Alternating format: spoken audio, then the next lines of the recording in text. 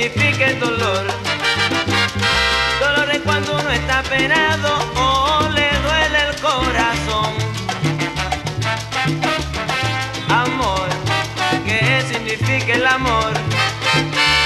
Amor es un hondo pensamiento de querer aunque no te quiera. Y yo, yo sí sé el significado, no es porque lo haya estudiado del amor.